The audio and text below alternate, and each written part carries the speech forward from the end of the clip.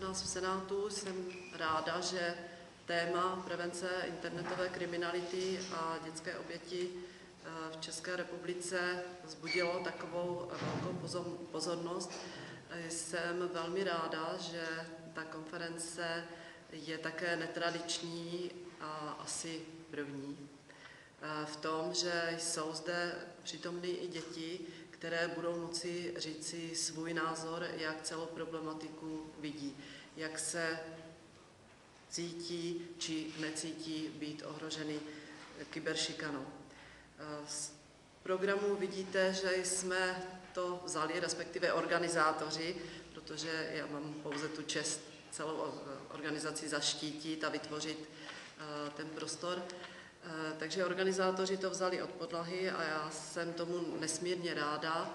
Eh, z toho programu vidíte, že eh, začínal pan předseda Úřadu na ochranu osobních údajů.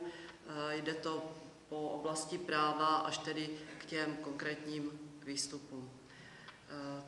Mám-li tedy říci svůj pohled k tomu, dovolit si ho říci na úvod, tak eh, už to dopoledne hodnotím velmi a velmi kladně, protože už v tom dopoledním bloku zazněly některé návrhy na opatření, eh, některé náměty. Eh, za prvé paní Guričová, nevím, doufám, že přijde ještě, protože tu dopoledne byla, tak hovořila o tom, že ministerstvo vnitra určitě musí přijmout soubor opatření, ale prostě návrhy na, na opatření, ať už legislativní či nelegislativní povahy. Hovořila také o tom, že ty návrhy a opatření musí se propojit, programy se musí propojit až do krajů a měst. To jsem si vzala eh, za svůj úkol pomoci podpořit, eh, dostat skutečně to, co je potřeba udělat na ty nižší úrovně a samozřejmě podpořit legislativní legislativní návrhy.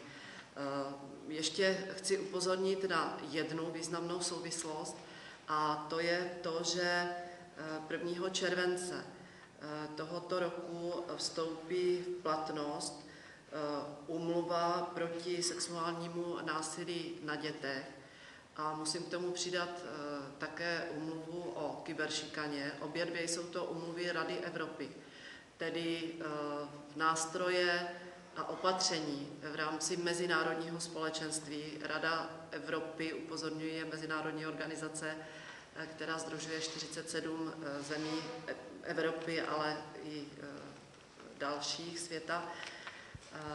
A je to velmi, velmi důležitý nástroj, protože také zde ráno bylo hovořeno o tom, že kyberšikana a nebezpečí internetu nelze uzavřít do jednoho národního státu a tudíž také nelze řešit jenom na úrovni jednoho státu.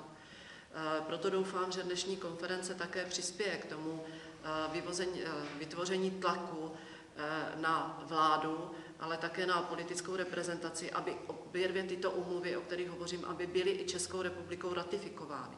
Tomu tak doposud není. Je to trošku naše ostuda, je to náš dluh vůči veřejnosti, ale i vůči mezinárodnímu společenství a já doufám, že ta dnešní konference k tomu také přispěje.